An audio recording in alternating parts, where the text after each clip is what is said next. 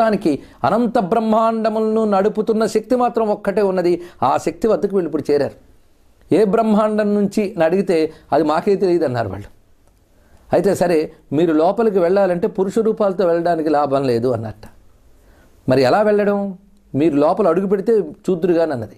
వెంటనే లోపల నుంచి కబురు వచ్చింది వాళ్ళ ముగ్గురిని పంపించు అని. అప్పుడు ద్వారపాలకులు వాళ్ళ ముగ్గురిని పంపారు. వాళ్ళ ముగ్గురు లోపలికి వెళ్ళేటప్పటికల్లా స్త్రీమూర్తులుగా మారిపోయేట అంటే బ్రహ్మ బ్రాహ్మి అయ్యాడు విష్ణువు వైష్ణవైంది మహేశ్వరుడు మహేశ్వరి అయింది. ముగ్గురు లోపలికి ప్రవేశించారు. ఇందులో అర్థం ఏమిటంటే పురుషత్వం అనేది ఒక అహంకారానికి ప్రతీకగా అనుకుంటే అహంకారం తొలగి లోపల కేవల శక్తి మాత్రమే ప్రవేశించింది లోపలికి. ఇది దీనిలో ఉన్నటువంటి భావం. బ్రాహ్మి వైష్ణవి మాహేశ్వరి అనే మాతృకాతత్వములు కూడా దీన్నే తెలియజేస్తుంది. నిజానికి ఒక దేవతకున్న పేరు ఇంకో దేవతకు ఉండదు. కానీ అమ్మవారికి అన్ని దేవతల పేర్లు ఉన్నాయి. ఇది కూడా ఆలోచించవలసిన అంశం. వైష్ణవి శాంభవి బ్రాహ్మి ఆగ్నాయి అదేవిధంగా ఐంద్రి సర్వదేవతల పేర్లు ఆ తల్లికి ఉన్నాయి అంటే సర్వదేవతాత్మిక గణ ఇందులో అర్థం ఏమిటంటే పురుషత్వం అనేది ఒక అహంకారానికి ప్రతీకగా అనుకుంటే ఆ అహంకారం తొలగి లోపల కేవల శక్తి మాత్రమే ప్రవేశించింది లోపలికి. ఇది దీనిలో ఉన్నటువంటి భావం. బ్రాహ్మి వైష్ణవి మాహేశ్వరి అనే మాతృకాతత్వములు కూడా దీన్నే తెలియజేస్తుంది. నిజానికి ఒక దేవతకున్న పేరు ఇంకో దేవతకు ఉండదు. కానీ అమ్మవారికి అన్ని దేవతల పేర్లు ఉన్నాయి. ఇది కూడా ఆలోచించవలసిన అంశం. వైష్ణవి శాంభవి బ్రాహ్మి ఆగ్నాయి అదేవిధంగా ఐంద్రి సర్వదేవతల పేర్లు ఆ తల్లికున్నాయి. అంటే సర్వదేవతాత్మిక గణకనే. వాళ్ళు లోపలికి ప్రవేశించట.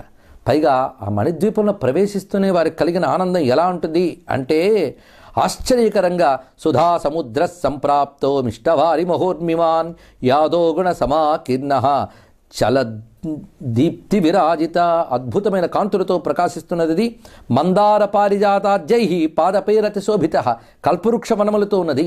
పైగా అక్కడ పక్షులు కూడా హ్రీంకార జపనిష్ఠాతు పక్షి బృంద నిషేవిత.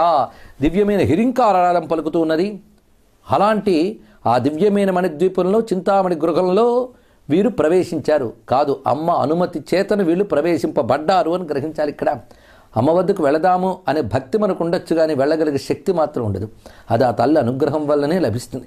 అక్కడ ఎదురుగా తల్లి గోచరించిందట అద్భుతమైన అమ్మవారి కొలువది దివ్యమైన సింహాసనంపై ప్రకాశిస్తున్నది ఆ భువనేశ్వరి శ్రీమద్ రాజరాజేశ్వరి పరదేవత.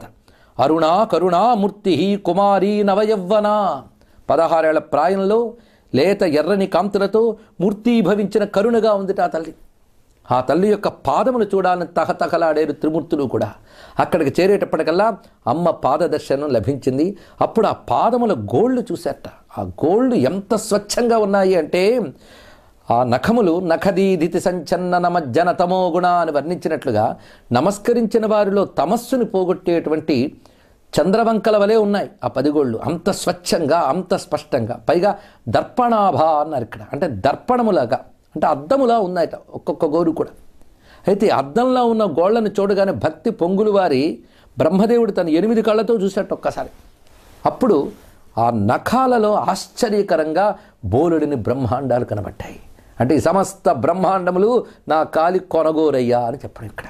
సమస్త బ్రహ్మాండ శక్తులు గోచరించాయి. ఆ బ్రహ్మాండములో ఎన్నెన్నో పరిణామాలు అన్నీ కనబడుతున్నాయి. అంటే కాలము కానీ ప్రపంచము కానీ ఇవన్నీ కూడా మన సత్యం అనుకుంటూ ఉంటాం. ఇవన్నీ ఒక లీలగా జరిగిపోతున్నటువంటి విషయములే.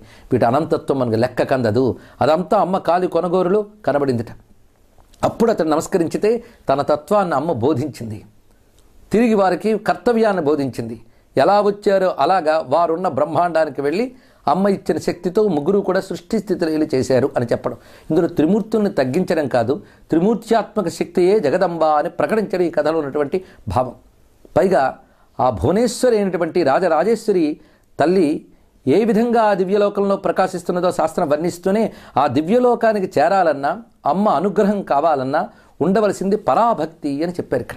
భక్తిలో అనేక రకాలున్నాయి. కోరికలతో చేసే భక్తులు ఒక రకం. అజ్ఞానంతో అలమటించిపోతూ ఎప్పుడు ఏదో ఆధిక్యం కోసం అశాంతిగా చేసే పూజలు మరొక రకం. ఎక్కువ మంది ఈ రెండు రకాల వల్లే మనకు కనిపిస్తుంటారు. ఒకడు రజోగుణ వికారం ఇంకోటి తమోగుణ వికారం. కొందరు మాత్రమే అమ్మవారు సంతోషించాలి నా పాపాలు పోవాలి అనే భావంతో చేస్తారు. ఆ రెండు భావాలతో చేస్తే దాని సాత్విక భక్తి అని అంటారు. ఈ మూడింటికి అతీతమైన భక్తి ఉందిట దాని పేరు పరాభక్తి అని చెప్తారు. అయితే సాత్విక భక్తి మనం అభివృద్ధి చేసుకుంటే పరాభక్తికి ఈ జన్మలో కాకపోతే మరో జన్మలోకైనా చేరుకోగలం.